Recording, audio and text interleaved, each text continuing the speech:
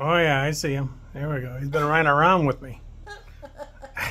I don't know how long he's been up there. I don't know. I just saw him. He's definitely cute. He wants a free ride.